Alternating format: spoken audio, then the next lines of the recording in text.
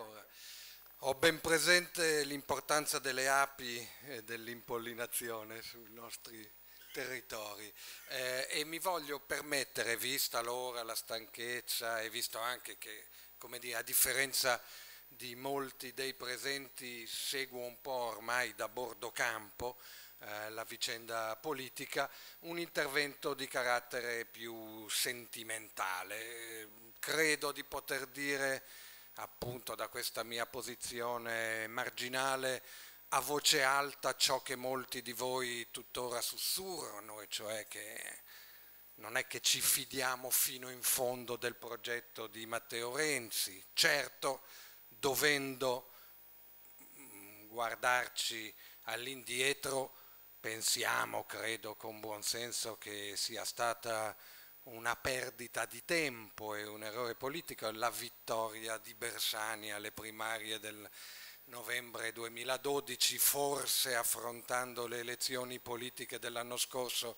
con il candidato premier Matteo Renzi sarebbero andate diversamente, ma ciò non impedisce come dire, un atteggiamento anche ancora interrogativo siamo di fronte a un enigma e mi ha rassicurato, anche a me, l'ha citato Orfini, sentire il vice segretario del partito eh, dire a voce alta una cosa che io avrei detto pensando ecco è la dimostrazione del fatto che sei anacronistico, inattuale come eh, l'aggettivo che ha usato Vendola, misurandosi con il discorso pubblico di eh, Renzi, e cioè il fatto che non abbiamo capito ancora bene chi ci ha votato se poi penso in particolare alla città di Milano dove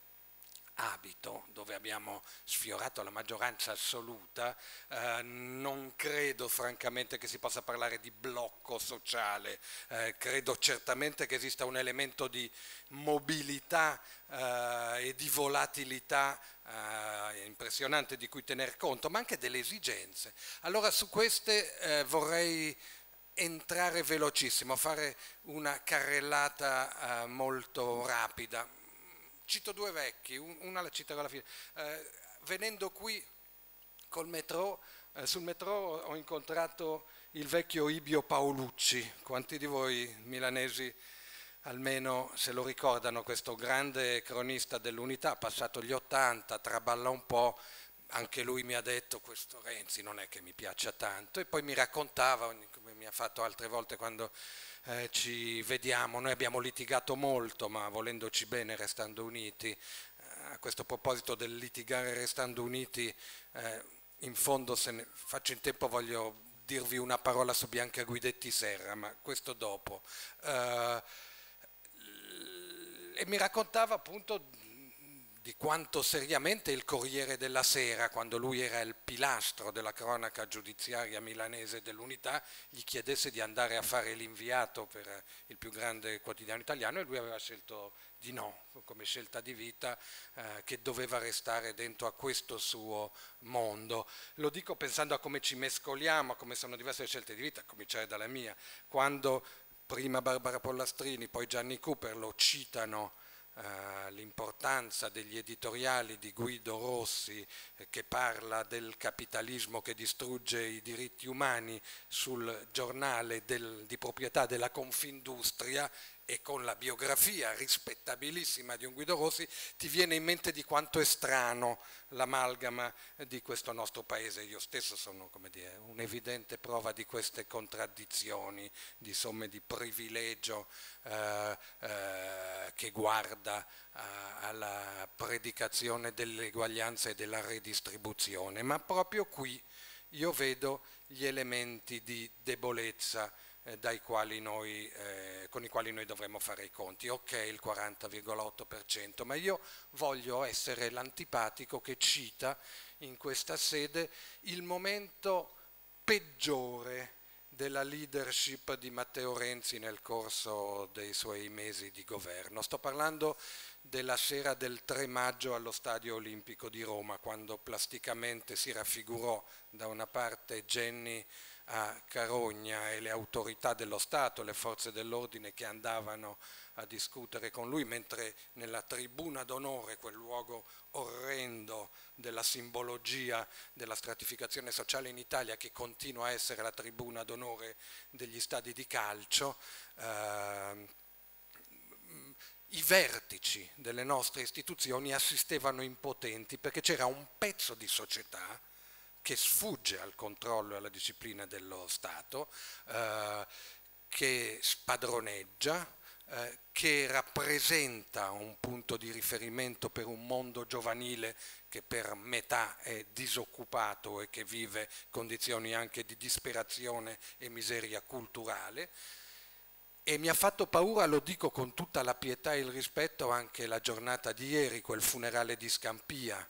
eh, dove di nuovo, secondo me, appariva evidente che esiste un'altra Italia rispetto alla quale sono passati due mesi da quel 3 maggio. Cosa ha potuto fare, cosa ha saputo fare lo Stato di fronte a questo fenomeno che definiamo delle tifoserie organizzate o della violenza nel calcio, ma che è qualcosa di molto più profondo. Dobbiamo ricordarcelo perché ha a che fare anche con il fatto banale che il 40,8% dei voti eh, deve tenere conto eh, delle percentuali di quelli che non sono andati a votare, oltre che delle percentuali di quelli che non lavorano e che si sentono tagliati fuori in questo paese. Eh, ma eh, ci sono fenomeni eh, che riguardano la nostra funzione di partito, eh, sui quali credo eh, occorra tenere l'occhio lucido senza eh, alternare, come mi è parso, scusate se ve lo dico, di cogliere anche in alcuni dei vostri interventi, eh, forme di pessimismo quasi catastrofico a forme di trionfalismo legate a un risultato elettorale e al fatto che abbiamo vinto dappertutto eh, nelle amministrative. Eh, guardate che eh, dobbiamo, se applaudite l'intervento di Carlin Petrini, dovete prenderne sul serio eh, l'assunto iniziale. Intanto vorrei ricordarvi che Carlin Petrini su iniziativa di Romano Prodi, eh, fu chiamato come alcuni altri cani sciolti che non appartenevano a nessuno dei partiti eh, di appartenenza di origine, eh, fu chiamato nel comitato promotore dei 41 eh, che doveva fondare il Partito Democratico. C'era Tulia Zevi, molto immodestamente c'ero anch'io e ne sono molto lieto, lo considero un fatto importante eh, perché credevo molto nella nascita del Partito Democratico avvenuta con dieci anni di ritardo. Carlin, adesso non voglio violare dire, la tua confidenza, credo che se ne vanti meno, è meno contento, considera meno importante di essere stato un fondatore del Partito Democratico, ma per il Partito Democratico invece non avere tenuto nel debito conto in questi anni, non avere dato lo spazio che meritava a una persona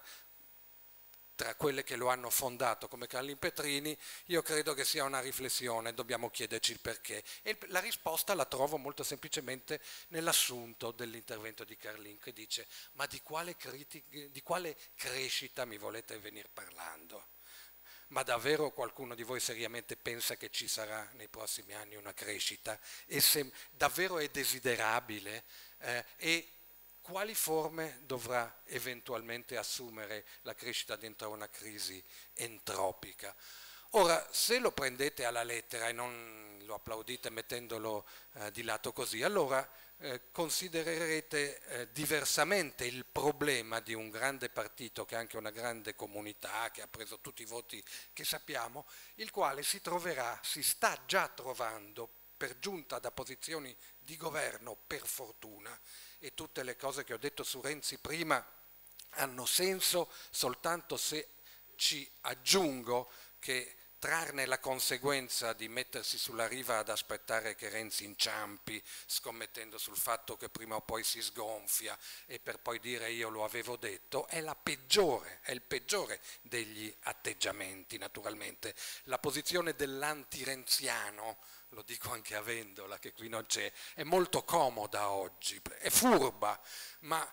non tiene conto di che cosa succederebbe all'Italia se l'esperimento Renzi andasse a catafascio, come può andare a catafascio, di quale spazio a una destra che oggi solo per un'illusione ottica non si vede questo aprirebbe. Ma ciò detto, e ricordate delle cifre che fanno paura, come quella che ha ricordato Barbara all'inizio, che era sulla prima pagina dell'unità di oggi, 30.000 bambini poveri solo nella città di Roma, ci sono altri dati che hanno a che fare con la non crescita, con la gestione di un lungo periodo di penuria nel corso del quale il problema è che il ridimensionamento e il declino dell'economia e della società italiana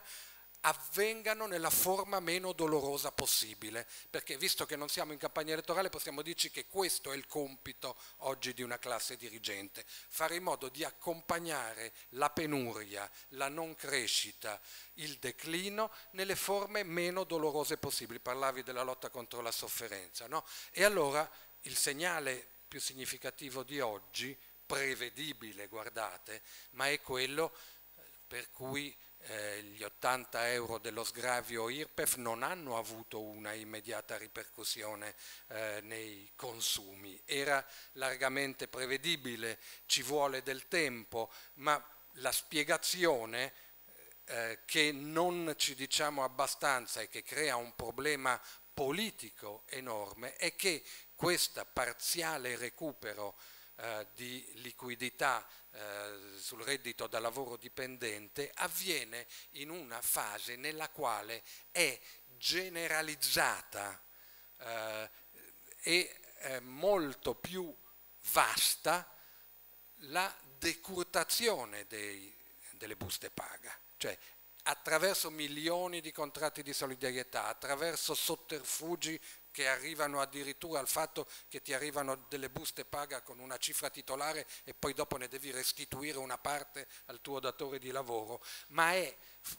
ormai percezione diffusa che da alcuni anni calano eh, le buste paga, calano i redditi da lavoro dipendente. Questa è solo una parziale compensazione. Intervenire su questo dato eh, significa intrecciarsi con tematiche di eh, mutuo soccorso, cooperazione, sostegno alle persone in difficoltà, che eh, richiedono una forma organizzata, delle forme organizzate plurali che non possono essere solo il partito del leader. Io continuo a, a dire, credere nella forte necessità di un grande partito unitario eh, della sinistra italiana e quindi eh, considero prezioso il Partito Democratico come fusione di culture eh, riformiste diverse proprio perché ritengo che il partito del capo, dell'uomo solo al comando, non sia in grado dentro a queste lacerazioni a cui ho accennato di eh, gestire alcunché e che più questo partito conserva, e non è facile, la sua natura democratica, i suoi meccanismi democratici, che sono l'elemento della sua forza, le primarie, ma non solo, e più conserva la sua dimensione comunitaria e più abbiamo delle chance di essere dentro al fronteggiare eh, appunto una situazione di difficoltà eh, per eh, strati crescenti della popolazione italiana. A questo proposito, scusate adesso corro ancora più veloce, ma devo aggiungere una carenza che io credo noi come anche sinistra del Partito Democratico dobbiamo denunciare. L'altro giorno eh, me, me l'ha riassunta diciamo con eh, eh, buona sintesi il mio amico Enrico De Aglio che vivendo ormai sei mesi all'anno in California ci guarda da lontano e mi ha detto guarda i due dati che maggiormente preoccupano dell'Italia sono da una parte l'invecchiamento della popolazione e dall'altra l'arretratezza della legislazione eh, per integrare gli immigrati. Non ci sono altri paesi occidentali che eh, fanno così fatica ad approntare normative di integrazione eh, e sommare questi due elementi, insomma questo ritardo clamoroso che noi continuiamo a avere sul terreno dell'immigrazione, dell'accoglienza, all'invecchiamento medio della popolazione, ci dice il declino che si vede da lontano, che si vede da fuori. Ebbene, me lo lasciate dire che a me non è piaciuto mm, il modo in cui tutto sommato alla chetichella si è liquidata la figura di Cecil Chieng non, così come si ridimensiona una funzione preziosa che la stessa Presidente della Camera, Laura Boldrini, per la sua biografia passata eh, avrebbe potuto svolgere. Temo cioè che in questa vocazione maggioritaria nella quale eh, si tende a edulcorare qualsiasi eh, questione divisiva, quelle che urtano, spigolose, che dividono l'opinione pubblica, rischiamo di fare dei brutti passi indietro. Se non sbaglio tra, era tra gli impegni assunti immediatamente, ad esempio quello eh, dello Iussoli, della cittadinanza per i eh, bambini stranieri eh, nati da genitori residenti in Italia. Mm, si rinviano e si nascondono le figure scomode. Ecco, noi secondo me se vogliamo essere utili dentro al Partito Democratico dobbiamo fare esattamente il contrario. A questo proposito è l'ultima cosa che eh, vi dico, anche se forse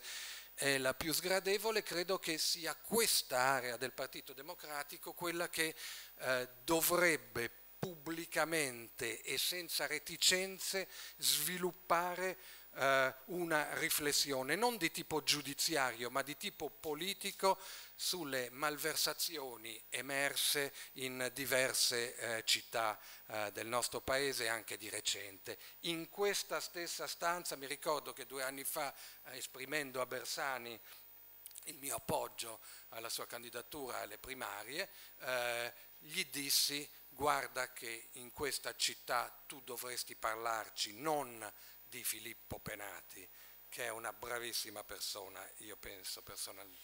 e ne sono convinto, ma del sistema, della cultura, della logica del rapporto fra politica e affari, per cui di nuovo dentro alla penuria, dentro alla crisi, dentro alla recessione, bisogna che anche noi proteggiamo i nostri, bisogna che anche se in Lombardia comanda la destra ci sia uno spazio, una fetta della torta che va anche al movimento cooperativo. Vorrete mica che quel fior di aziende che sono le cooperative emiliane non lavorino nella regione più ricca d'Italia. Eh, così. Eh,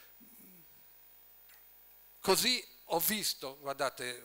ripetersi la vicenda nell'Expo, primo Greganti, Manutencop, vogliamo fare tutti i nomi, ma l'ho vista ripetersi a Genova, io ci sono andato per Repubblica a Genova e a Venezia e ho visto come in queste città eh, soggetti economici divenuti ormai completamente autonomi dalle logiche della politica, ma che hanno a che fare con la nostra storia, siano divenuti oggettivi elementi di conservazione, erano quelli che dentro alla Carige sostenevano Berneschi fino in fondo e votavano contro le sue dimissioni, eh, uomini eh, iscritti al PC eh, dall'immediato dopoguerra, uomini che hanno fondato gloriose cooperative che difendevano Berneschi perché è la banca di territorio. E abbiamo visto nuovi primi greganti eh, apparire, affiorare dentro alla vicenda del Mose, dove pure si trattava di ritagliare uno spazio. Ah.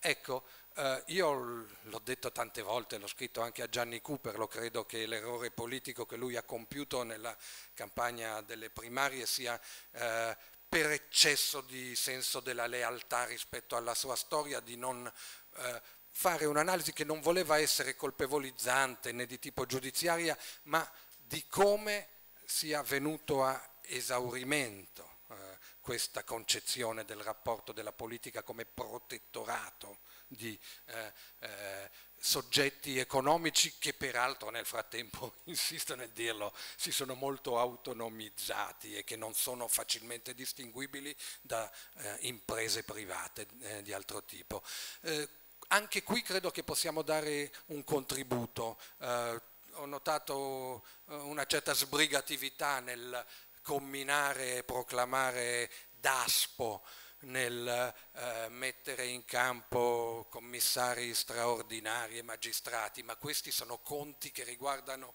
la nostra storia politica e il nostro partito e dobbiamo farli eh, insieme. Ho finito eh, dimenticando probabilmente un mucchio eh, di altre cose, ma vi avevo detto che volevo spendere una parola su Bianca Guidetti Serra, perché? Non perché eh, anche in questa sede voglio ricordare una grande donna eh, italiana, ma perché mi ha colpito l'altro ieri al suo funerale eh, la capacità oggettiva di figure come la sua, eh, la donna che è diventata antifascista per sua personale indignazione contro le leggi razziali nel 1938, che diventa partigiana, che poi diventa l'avvocato degli eh, operai che eh, vengono addirittura incarcerati quando lottano eh, per difendere il posto di lavoro, che diventa l'avvocato delle cause perse le più disperate, comprese quelle dei brigatisti irriducibili e al suo funerale c'erano insieme Piero Fassino e i Notav e nessuno ha urlato e nessuno si è accapigliato, cioè ci sono figure che tengono insieme eh, eh, i nostri mondi, il nostro mondo, lo dico anche eh, eh pensando al travaglio che stanno vivendo Gennaro Migliore ed altri, io sono convinto che sia stato Curzio, dopo interverrai eh, anche tu, Curzio Maltese, eh, ricordo benissimo che all'indomani della sconfitta politica del febbraio 2013 scrisse il commento su Repubblico nel quale diceva